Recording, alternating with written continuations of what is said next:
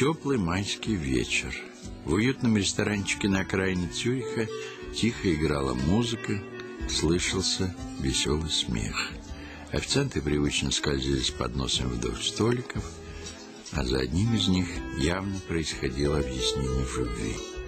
Странность ситуации заключалась в том, что признавалась в любви дама, и не обычная дама, а известная революционерка, которую боялись и разыскивали все жандармы Европы. Ее звали Роза Люксембург.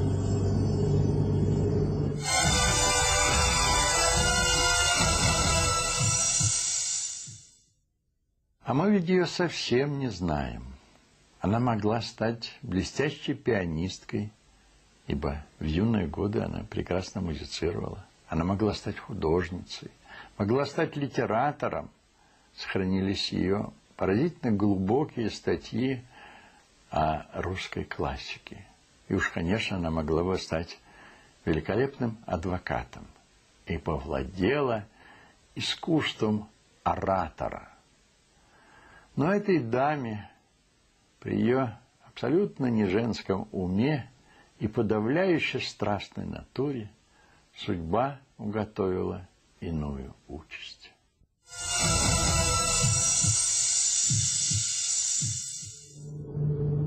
А еще она могла бы стать, конечно, счастливой женой и матерью, если бы не ее недуг.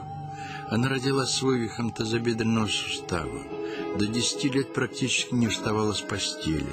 К 12 годам болезнь отступила, но Розе, чтобы скрыть ее хромоту, заказывали специальные туфли. И как ни старалась она относиться к этому с юмором, упоминания о хромоте сильно задевали ее. В июле 1893 года в Цюрихе проходил Конгресс Второго Интернационала. Он стал ареной для схватки польских социалистов и польских же социал-демократов. Одни требовали политической независимости Польши от России, Пруссии и Австрии, другие призывали к мировой революции. Казалось, социалисты одерживают верх. Но тут на сцену поднимается маленькая женщина. «Долой ее, долой!» – закричал зал. Но стоило ей произнести несколько фраз, как все замолчали.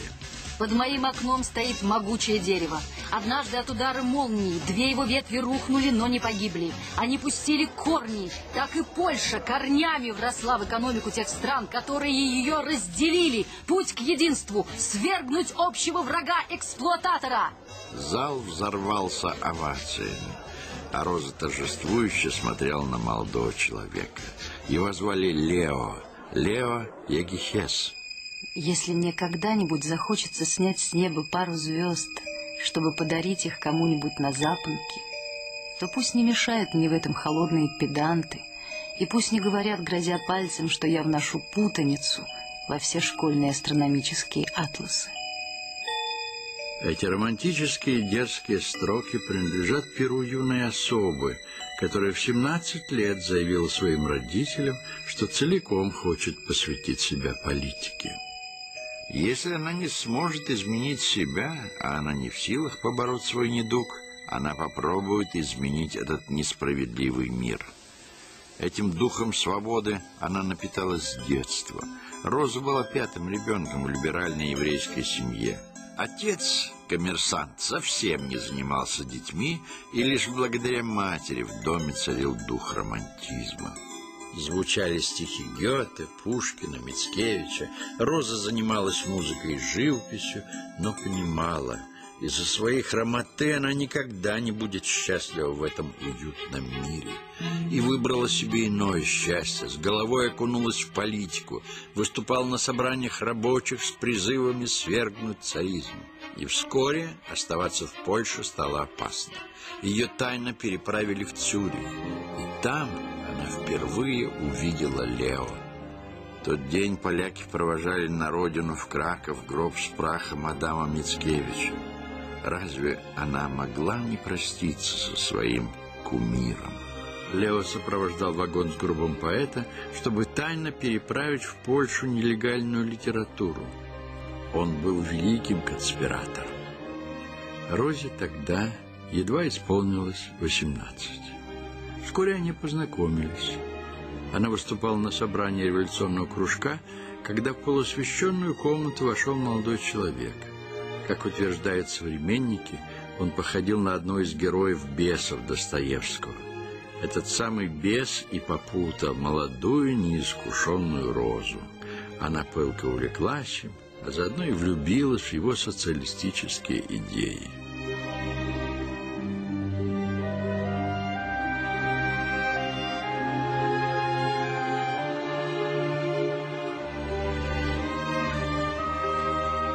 Однако Лео не захотел связывать себя брачными цепями.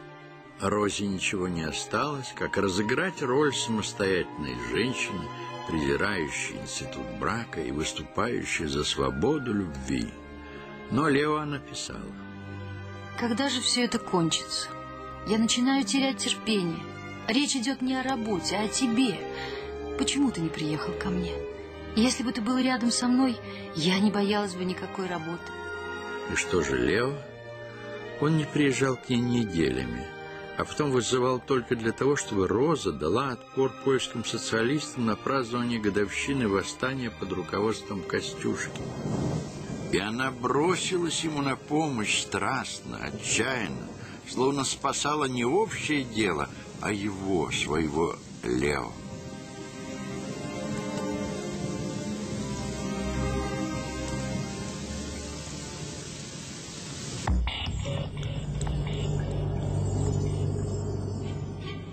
Бунтарский дух юной пани проявился еще в гимназии. В те годы в Польше шла активная русификация школы. Когда царский чиновник зачитал указ о преподавании всех предметов на русском языке, Роза возмущенно воскликнула. «И что, польскую литературу, язык тоже?» А эти предметы особенно, язвительно подчеркнул чиновник. Он запомнил эту дерзкую барышню и с наслаждением снизил ей отметки на выпускных экзаменах. Именно тогда ей впервые приснился тот странный сон, дерево, в которое ударила молния. Она даже пыталась нарисовать его, но кому нужны ее картины? Сегодня важно бороться, а чтобы победить, нужно знать своего врага как не хватает знаний. Ее интересовало все – история, философия, экономика, математика, но денег на учебу не было. И вдруг счастье. Лео, ее Лео осуществил ее заветную мечту. Получив наследство, он оплатил обучение.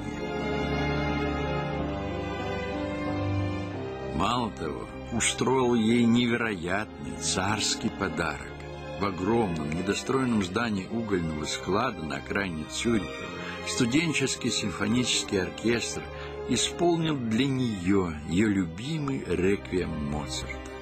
Она была счастлива и надеялась, что теперь-то он скажет ей заветные слова, но Лео говорил только о грядущей революции и победе. Он гордился ею. К тому времени ее политическая кредо сформировалась окончательно. Ее первые работы, знаменитые первомайские брошюры, содержали яркий призыв рабочего класса к революции. Диссертация называлась «Промышленное развитие Польши». Глубокое, всестороннее исследование предмета, огромное количество привлеченных источников, экскурс в экономическое прошлое Польши и России, анализ сложных переплетений политики, экономики. Высоколобые мужи, заседающие в ученом совете, поначалу иронично переглядывались. Еще бы, вместо женщины в гостиной и спальне. Но скоро скептические улыбки исчезли. Точные формулировки, острый, неженский ум, изложение свободное, страстное – лишенная унылого академизма. Всеобщим голосованием ей, одной из первых женщин в Европе, присуждается степень доктора экономических наук. Они любили это роскошное буржуазное кафе. Поэтому именно здесь решили отметить ее триумфальную защиту. И так хотелось побыть с ним наедине, в последнее время они редко бывали вместе. Знакомый официант улыбнулся, узнав завсегдатаев. Ароматный кофе по-швейцарски дымился в чашках. Любимое вино гранатово мерцало в полумраке зала. Пирожные источали знакомые ароматы. Казалось, ничего не изменилось, вот только Лео был другим. Вдруг, не в силах больше выносить молчание, Роза воскликнула, «Лео, женись на мне!» Он не сорвался, не кричал, не обвинял ее в том, что она подавляет его. Он просто сказал, что не собирается быть жалким учеником гениального учителя, что он не может вечно пребывать в ее тени. Роза молча встала и удалилась. Полвека спустя Рольф Шнайдер, исследователь жизни Розы Люксембург, писал, «Можно сказать, судьба обездолила ее трижды, как женщину в обществе, где главенствуют мужчины, как еврейку в антисемитском окружении и как коллегу.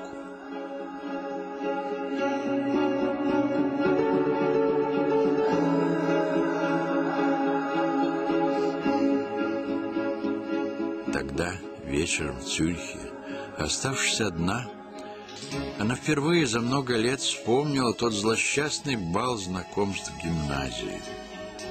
Роза была всеобщей любимицей, но сейчас она пряталась за колонной. Внезапно за ее спиной раздался до боли знакомый голос. «Пани Руза, прошу вас!» Она оглянулась, так и есть, ежем рожек, самый красивый и элегантный юноша гимназии. О нем мечтали все девушки. Он взял ее за руку. «Я не умею», — сказала она. «Я научу вас» и закружил ее в вальсе. Гимназистки завистливо шептались. Вдруг Роза неожиданно вырвалась и, сильно хромая, выбежала из зала. Несколько дней она прорыдала в подушку. Отец молча положил перед ней роман Гончарова «Обломов». Она начала читать, слезы постепенно высохли, и перед ней стал выбор – всю жизнь просидеть дома, скрывая хромоту, или бороться со своим несчастьем и победить. Роза выбрала второе.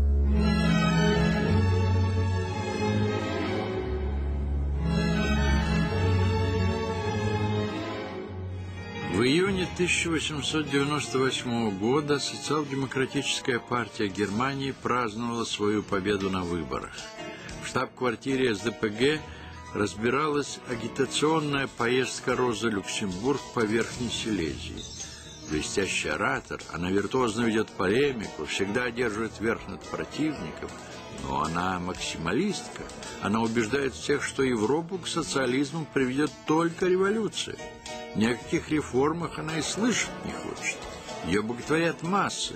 Если эта маленькая женщина прикажет, они тут же начнут возводить баррикады. Уже полгода, как Розалия Люксембург проживает на территории Германии, являясь активным членом ее социал-демократической партии.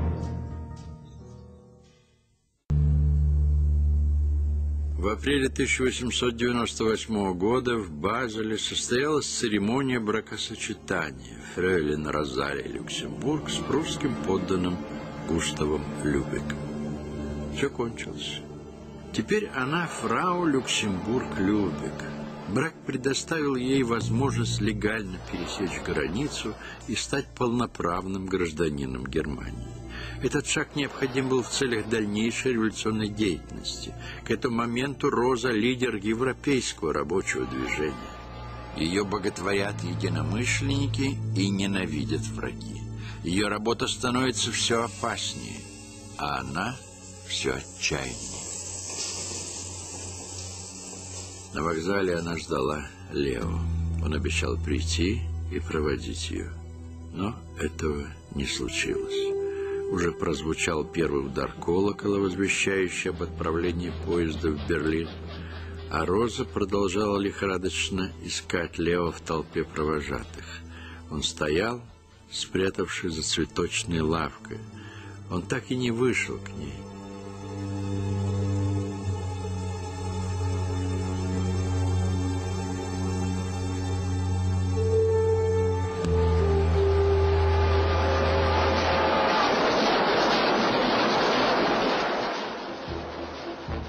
Потом были письма.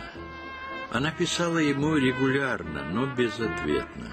В них почти не было политики, так, скользь упомянутые факты, события. Она рассказывала, как проводит время, как слушает по утрам пение птиц, как приходит в парк, посидит на скамейке, которая напоминает их скамеечку в Женеве, какие новые рецепты открыл для него. Но он молчал та мягкая, доверительная, идеальная атмосфера, которая в оные времена была между нами, безвозвратно пропала. Мой дорогой, ты ведь умеешь понимать и обдумывать. Ты это всегда делал за себя и за меня в наших отношениях. Почему теперь ты не хочешь сделать это вместе со мной? Почему оставляешь меня одну? Он молчал. Вскоре Лео сам приехал в Берлин, они встретились, бродили по аллеям, спорили. Но такой близости, какая была прежде, между ними уже не было. Но Роза все еще надеялась, что когда закончится эта политическая борьба, когда случится долгожданная победа пролетариата, они вновь будут вместе. И тут она грянула. Русская революция 1905 года. И Роза спешит в Россию, встречается с Лениным, Троцким, выступает на баррикадах. Наконец-то свершилось. Вот оно, настоящее дело. Вскоре пожар революции распространится по всей Европе. В мире отчетливо пахнет порохом. На Конгрессе Второго интернационала в Штутгарте обсуждается архиважный вопрос – отношение к империалистической войне и милитаризму. Розе не дают говорить, кто-то выкрикивает. Стремление к лучшему будущему через революцию есть сделал темперамента таких нетерпеливых особ, как Роза Люксембург. Но Розу не остановить. Война продемонстрирует всю живость заигрываний буржуазии с рабочим классом. Рабочий всегда был и будет игрушкой в ее руках. Пока позиции Люксембург и Ленина совпадают. Общая точка вопроса войне. Война должна разрушить империи и открыть дорогу революции.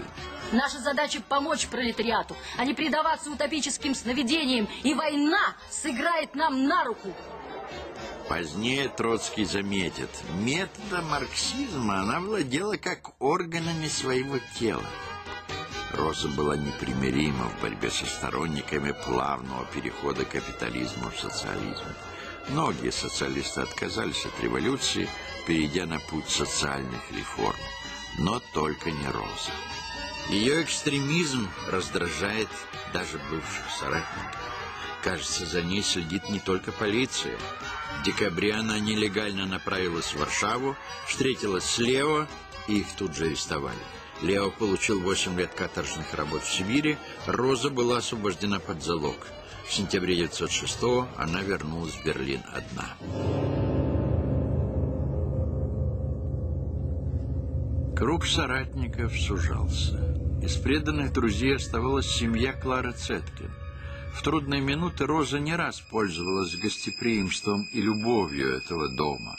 Знаменитая феминистка была любящей женой и нежной матерью. Ее младший сын Константин вырос в атмосфере тепла, уюта, в доме витал аромат выпеченных булочек. Но прошло время, и мальчишка, по-детски влюбленный в Розу, превратился в молодого человека, которого восхищали ее неординарность и сила характера.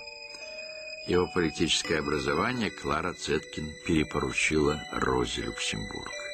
Между ними Розой довольно быстро завязался роман. Рядом с юношей, еще не успевшим стать циничным и одержимым, как Лео, Роза вдруг почувствовала себя женщиной. Почему я всю жизнь должна пробираться сквозь уколы и удары, тогда как во мне вечно плачет стремление к покою и гармонии? Роза всячески старалась оградить Костю от революционных идей. Из последних сил она пыталась удержать в нем дух романтика. Она вновь много рисует, музицирует, заставляет Костю заниматься скульптурой. Но, утомленная опекой и ревностью своей старшей подруги, Костя оставляет ее. Проходит совсем немного времени, и еще удар. Любовь сменяется тюремной решеткой. На долгих четыре года Роза попадает за решетку. За антимилитаристскую агитацию в период Первой мировой войны ее заключают в военную тюрьму Бреславу. Там началась бессонница, отказывали почки, сдавали нервы и снова мучили кошмар. Она пыталась спасаться живописью, но это не помогало. Если бы я могла посвятить два года только живописи, это меня поглотило бы целиком, но я не имею на это права. В моей жалкой мазне не нуждается ни одна собака, а мои статьи нужны людям. Весть о победе революции в России проникла сквозь тюремные решетки, но вскоре восхищение сменилось разочарованием. Ленин заявил о возможности победы социализма в отдельно взятой стране. А как же мировая революция? Подписание Брестского мира резко развело дороги немецких и российских коммунистов. Роза Люксембург открыто выступает против Ленина и наживает себе врагов даже среди социал-демократов. Эта хрупкая пани становится опасной. Вскоре открывается первый съезд Германской коммунистической партии. Во главе ее становится Роза Люксембург вместе с Карлом Липкнехтом и Лео Якихесом. Подписав так называемый мир, вождь мирового пролетариата собственноручно затушил пламя мировой революции, лишив надежды на свободу пролетариев других стран. Мы, коммунисты Германии, вновь поднимаем знамя борьбы и клянемся не отступать от идеи победы диктатуры пролетариата во всем мире. У непримиримой Розы все меньше остается соратников. Один из немногих, Карл Липнихт, до конца своих дней он оставался верным идее диктатуры пролетариата. Он был не только соратником, но настоящим верным другом. Близким ее другом стала и жена Карла Соня. А между тем тучи над ними сгущались. Один за другим попадали в тюрьмы и погибали соратники. И вскоре в газетах уже появился открытый призыв к их убийству. Социал-демократы обещали за их голую награду 100 тысяч марок.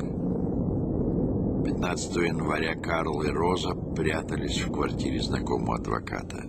Но их предали. В квартиру ворвались неизвестные. Карла Липнихта затолкали в машину и убили двумя выстрелами в упор. Розу оглушили и бросили в воду Ландер-канала. Похороны были грандиозными. Тысячи рабочих шли за гробом с телом Карла Липнихта и несли огромный портрет Розы Люксембург. Ее труп был найден спустя два месяца после похорон. Она не дожила до 48 лет. А что же Лео? Он пережил Розу всего на два месяца. После убийства руководителей – он возглавил коммунистическую партию Германии. Но уже 9 марта 19 года был арестован и убит в тюрьме. Все в тот же час, на том же самом месте, где мы в одной мечте стремились слиться, везде, всегда, с тобой я буду вместе, ведь там оставила души частицу. История давно расставила все точки над «и». Рассудила, кто прав, кто виноват. Но ведь кроме собственной истории и над нею остались те личности, те великие фигуры, которые двигали эту историю, которые пытались переустроить мир. Одна из таких, конечно, Роза Люксембург. И нас всегда всю мою, во всяком случае, сознательную жизнь убеждали, что вся суть ее в этой необыкновенной преданности высоким идеалам переустройства мира. А она ведь совершенно другая, правда?